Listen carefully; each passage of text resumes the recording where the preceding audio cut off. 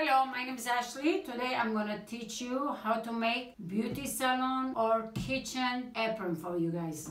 It's very simple. An apron is going to be just like this, which I've done this long time ago and it's getting older. Uh, this material is like, it's like slippery. When we cut hair, the hair slips and goes away. This side is a, like a velvet it is. You don't need such, such a big piece. It depends how big is your body. This material you fold in half and you put this on top of you. Now it depends how high do you want or how low do you want. For beauticians, it's always nice to keep it up so when they cut the hair, it doesn't jump on your, their chest or whatever. And when you make it half, you, we have to keep a little extra because we want to fold the top. And then you will see where is your waist. I want mine to be a little longer here to my kind of shoulder. What do I do? I put a little pin. This is how far I want from my chest. And this is my waist and I want to come close to here. I don't want that to be shorter. I'll put another pin here. And then what you do is from your waist to up, you just make a little circle. And the length is your preference, how long you want or how short do you want. From here to here, we have to make a circle because here is the pin we put it for the furtherness. So just follow to the line. All right, there you go. This is like this. Over here, we don't want this part to be open. From inside later on, we're just gonna go for women, for their chest, for their breast, to fold it, and it will hug you. The length is too long. What we need is, of course, handles for the neck and for the waist. So what do we do? We have to cut couple pieces you can cut about half inch, one inch, whichever. For the neck, about three quarter inch to one inch, whichever you want. There you go. Some people would love to have a pocket. You put little pockets from the to the sides and you cut again from this material because it's too long. But if you have extra material yourself, you can put little pockets in the sides. Okay, now I'm gonna do the pocket. Here I, you see on the pocket, I put some pins. Anytime you put the pin, you make sure that the heads are down.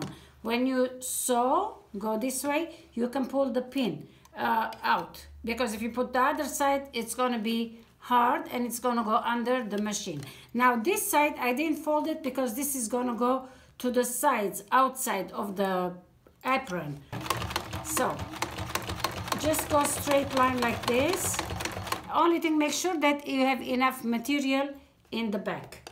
And you don't have to go fast just go slowly slowly and make sure that your finger always doesn't go too much in it okay? So in the corner always make sure your needle is inside so you can twist. So the thing the needle doesn't come the material doesn't come out or slip like that you hold it tight you know, and you sew. Slowly, slowly you do it. This is the way you do. Go to the corner. Make sure it doesn't go on the needle, your, on the pin, your needle, because if it does, your needle is gonna break.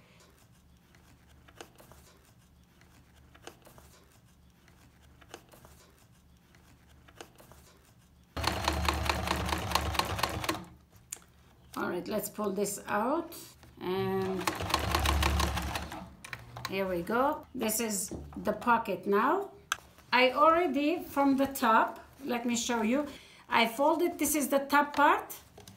I fold it and I sew it. Later on we can cut this part away. And then I went straight and I curved it a little bit. But when you're curving it you always it's good to make a little notch because when I curve this po pocket, for example, if I'm going to do this, it's going to pull the material. You have to put a little notch and you have to go kind of rounder like this. And then when I reached here, I put the belt. I didn't finish it yet. I want to fold this just like this. It has already two layer here. Two layer here, it will be four layer. So when it's four layer, your needle, it might have a little bit hard time to go in. Here with your hands, for the needle, wherever the heavy thick part it is, you have to twist it with your hands.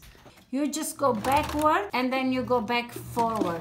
So what it does, it kind of secure because you're gonna use the handle so much, your belt. So you make sure that it's nice and tight.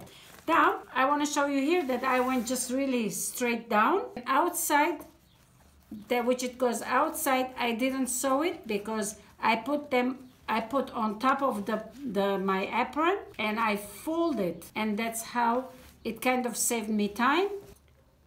And now you go straight like this up. I'm gonna go just backward a little bit because we need the ends to be secure. We don't want any holes okay this have to go just straight okay over here there is three layers I have to be careful now you can sew it from the end or you can go on top of the stitch. When you go from the end, it will you'll have more space as a pocket. If you want to look clean and more professional, you can go on top or you can make it like two line. It depends how do you like to do it. It's a preference. See how if, if your pocket, I mean if your hands go comfortable inside, then make it shorter. Uh, you know, if you want, then make it longer. I think I will, over here, I will put a little bit extra stitches. I'll put this down.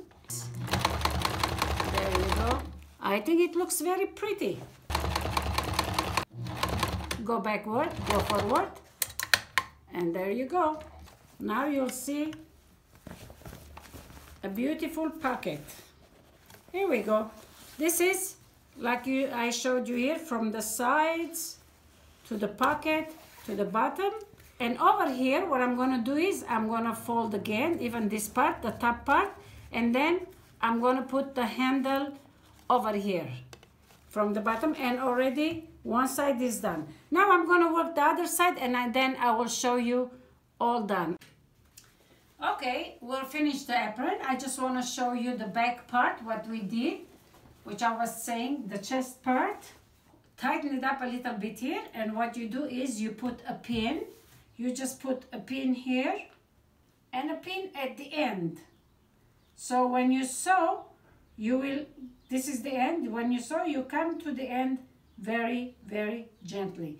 And then before that when you're putting the pin fold your apron together so you will know exactly the first part that you're pinning. So you do the same thing to the other. From there to the ends of the pin. You just go and angle out like this. So this way this way it will give the shape of your chest just like this. And here's the end product which is you can use it for anything gardening in a kitchen cutting hair. It's a wonderful thing. I think everybody should have a machine. And in case if you like to have a machine click on my link and it's in description. Well let me tell you what kind of material is this. This is microfiber material. It can last you for a long time which i've been using this kind of material for 30 35 years. In case if you would be interested with this material click on the link and it will be in the description. If you like it, please subscribe on my channel. I hope you'll have a good time and enjoy it. Thank you very much again. I'll see you next time. Bye-bye.